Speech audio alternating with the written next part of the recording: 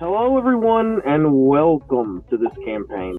The name of the campaign uh, is Echoes of Strahd. Uh, we have currently players in this campaign, and potentially maybe even more. Um, as of now, though, uh, we only have um, for this session.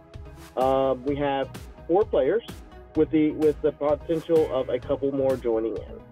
Um, eh, you know, uh, if you guys all want to give a quick and brief description of yourselves and your characters for the um, for the campaign, uh, please go ahead. We're going to start with you, Ginger, and then we're going to move to Tyler, and then to Angie, and then to Zach.